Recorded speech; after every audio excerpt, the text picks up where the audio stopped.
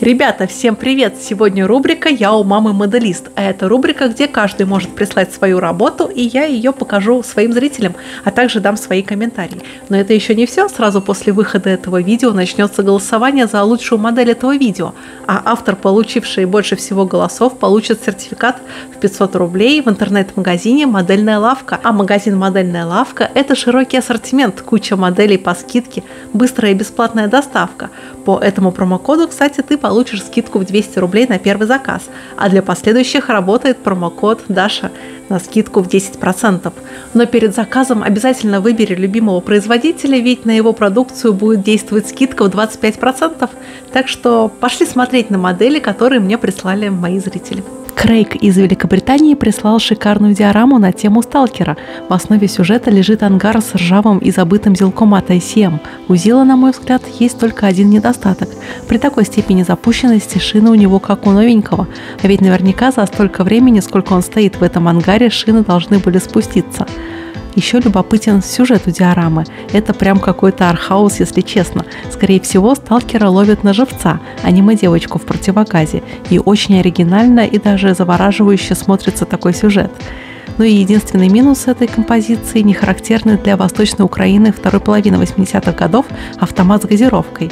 И да, судя по окровавленному стулу, на нем кого-то пытали Пока мы ждем Т-62 от звезды, Андрей сделал модель этого танка от Томии в 35 масштабе. И начну я сразу с недостатка. Фотографировать коричневый танк на коричневом фоне – это не лучшая идея. Танк благодаря своему камуфляжу теряется, а цель подобных фотосессий – именно показать танк во всей своей красе, а не прятать его. И второй минус – это отсутствие металлического блеска на траках гусениц. Кстати, такой косяк я тоже допустила при постройке своего КВ-1, так что учитесь на ошибках других. Также не очень красиво парит в воздухе гусеничная лента. На настоящих Т-62 верхняя ее часть всегда лежит на катках. И зенитный пулемет я бы сделала чуть более металлическим, методом сухой кисти. Сергей прислал Як-28П от Bobcat в 48 масштабе, и все, наверное, помнят песню «Огромное небо». Ну а те, кто не знают, послушайте о подвиге советских летчиков в небе над Берлином, которые увели падающий самолет от города и при этом не оставили себе шансов на спасение. Это было в 1966 году. Экипаж в составе капитана Бориса Капустина и штурмана Юрия Янова перегоняли новый перехватчик Як-28П из Новосибирска на аэродром Кетон в ГДР.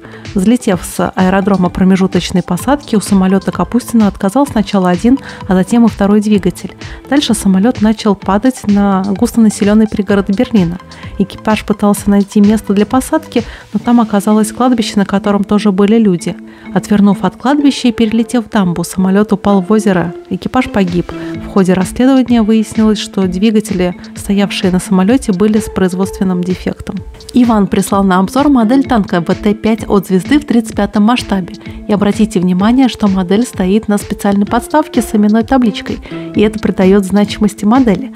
Танк выполнен с доработками. Поменены траки и ствол. Кстати, на стволе есть следы копоти. Но вроде как эксперты мне указывали, что если у ствола нет дульного тормоза, то и копоть на нем не образуется. А вы как считаете? Напишите об этом в комментариях. На модели очень классно смотрятся ремни для крепления разного скраба и бревно выполнено довольно фактурно. А еще есть маленький классический недостаток. Траки не пошлизнены. И это уже вторая модель с таким недостатком в этом обзоре. Иван прислал на обзор модель линкора «Северная Каролина» в 200 масштабе из бумаги. Модель получилась просто колоссальной. Длина модели примерно полметра, и работа проделана очень большая. По недостаткам хочу заметить, что у модели видна фактура бумаги. Видимо, были распечатаны выкройки на цветном принтере и склеены без окраски, что придает модели не очень железный вид, а самый настоящий бумажный. А также из-за того, что модель не окрашена, видны стыки бумажных листов и их выдает характерный белый цвет. Наверное, с этим можно бороться только лишь подкраской этих стыков, но велик шанс не попасть в исходный цвет – так что я выступаю за полную окраску подобных моделей после сборки. Лев прислал на обзор виньетку, где два офицера фолькштурма объясняют девушке, как использовать фаус-патрон. Очень полезное для девушки умение. А как пользоваться фаус-патроном немцы объясняют на примере винтовки, что довольно странно.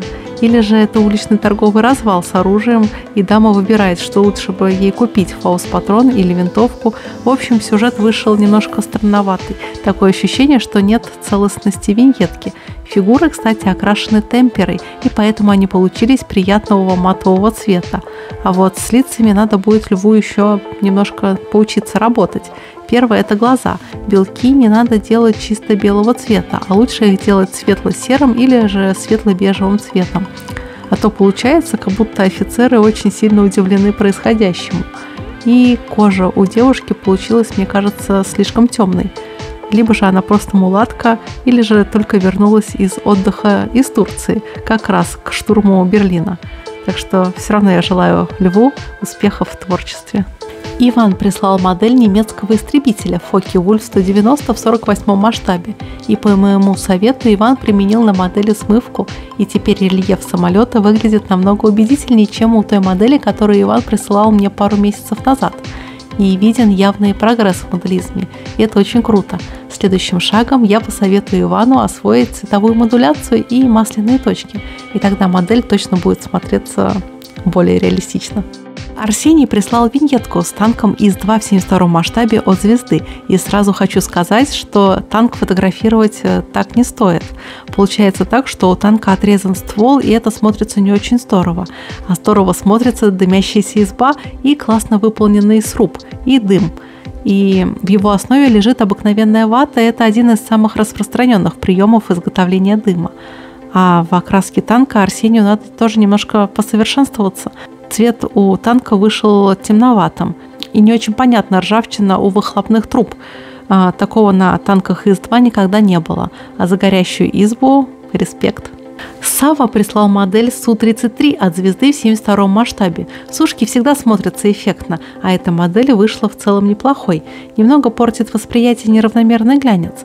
Надо было после окраски всю модель задуть лаком, чтобы придать равномерный блеск по всей поверхности. Очень эффектно смотрится фото на фоне заката. А фонарь у кабины открыт, а заглянуть внутрь нам ее автор не дал. А ведь именно для того, чтобы рассмотреть сложное устройство кабины и делают открытыми фонари. Но я желаю автору успехов при дальнейших стройках.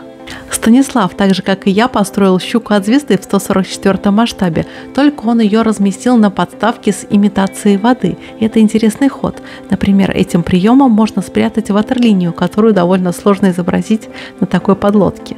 Вода получилась, правда, слишком однотонной, особенно когда так волнуется море. Вода, она переливается огромным разнообразием оттенков, так что воду нужно еще немножко доработать. А вот шаровый цвет у автора явно не выдался, он получился чересчур темный. Надо было бы в исходный цвет добавить чуточку белого, тогда бы все получилось просто супер. Также из недостатков можно отметить, что тросы антенны не натянуты и висят они как мачты. Это тоже неверно. Они должны опираться на промежуточные стойки. Также, если я не ошибаюсь, именно Щ402 не имела на носу характерное приспособление для прорезания сетей. А то, что автор попробовал себя в создании воды, это очень даже круто, но, как всегда, есть к чему стремиться. И Вячеслав прислал довольно симпатичную модель вертолета Ми-8 от звезды в 72 масштабе. У модели очень приятный камуфляж, который вышел вполне правдоподобно, но восприятие модели портит странное пятно на правом борту машины, и скорее всего это не вовремя убранная смывка. Если она уже высохла, то убрать ее, кстати, довольно сложно. Я обычно смывку делаю в два этапа. Вначале я наношу ее, жду минут 5, а потом смываю излишки. А потом жду еще 2-3 часа и проверяю, нет ли лишних потеков. Если есть, то убираю, а если какие-то участки недостаточно контрастно выделены, то повторяю процесс. я желаю Вячеславу успехов в освоении приема смывки. Иван делает модели советской авиационной техники с нуля и прислал двойную модель. Это самолет Ан-225 и космический челнок «Буран». Модели получились очень достойными, прям как музейные экспонаты. Единственный минус, что кое-где не разглядеть расшивку, и стекла выполнены краской, а не отдельной деталью. Но за оригинальность и эксклюзивность это просто однозначный лайк. Виктор продолжает космическую тему в сегодняшнем обзоре, и это опять челнок Буран, но модель уже сделана из набора от фирмы ARC. И обратите внимание на проработанность, характерной для Бурана обшивки. Она выполнена из декали, а автору только за одну усидчивость можно поставить лайк. А с этими элементами, кстати, модель выглядит очень футуристично. Андрей прислал на обзор модель Су-85 от звезды в 35 масштабе, и модель выполнена по мотивам фильма «На войне как на войне». Модель неплохо окрашена, но цвет получился немножко однотонным. Это нормально для начинающего моделиста. Потом можно будет освоить более интересные приемы окраски модели. Грязь выполнена тоже вполне реалистично, но тоже немножко однотонно. И у модели также есть классический косяк многих моделей из этого обзора. Гребни траков недостаточно железные. Ричард прислал довольно симпатичную модель немецкого Opel Blitz в 35 масштабе от Tamiya с зенитной установкой в кузове. У модели нет дверей, и это характерно для машин, воевавших в Африке. Также классно и фактурно смотрится сама зенитная установка и очень хорошо сделаны сколы, а разноцветный щит придает модели самобытности и шарма фронтовой самоделки. Очень хорошо показана пыль на ветровом стекле и грязь на подножках, и модель мне действительно очень понравилась. Но, наверное, тут дело в вкусовщине, ведь я очень люблю грузовички из 30-40-х годов прошлого века. Эдуард прислал на обзор модель Абрамса в 35 масштабе от Томии, и модель выполнена тоже на очень высоком уровне, придраться тут практически не к чему. Может быть, если только к сероватому оттенку краски, но это опять же дело вкусовщины. Можно также придраться к скрабу, который закреплен на башне, он выполнен достаточно однотонно и не очень интересно. Но повторюсь, что это всего лишь придирки, а так мне модель в целом очень понравилась. Lex прислал на обзор модель КАМАЗа Мустанга от звезды в 35 масштабе. И да, модели фирмы «Звезда» всегда пользуются популярностью у начинающих моделистов. Для новичка модель окрашена очень даже неплохо. И я советую Лексу продолжать совершенствоваться в окраске моделей. Например, попробовать прием смывки. И тогда модель будет смотреться еще намного интересней. Так что удачи в моделизме! Евгений прислал на обзор модель бумажного танка КВ-1 в масштабе 1 к 40, и это нестандартный масштаб.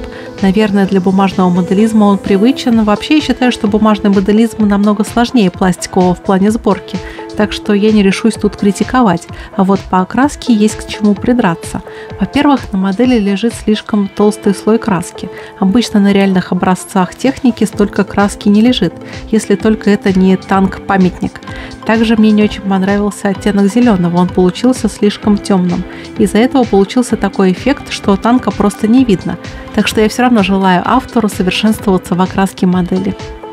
Никита похвастался, как он сделал модель избушки на курьих ножках из деревянного набора от SV Models. И деревянный тут значит не качество набора, а материал, из которого он сделан. Так что давайте немножко отдохнем от кучи танков и полюбуемся на зодчество из русских сказок. Кстати, вот вам пример еще одного не сильно распространенного направления в моделизме.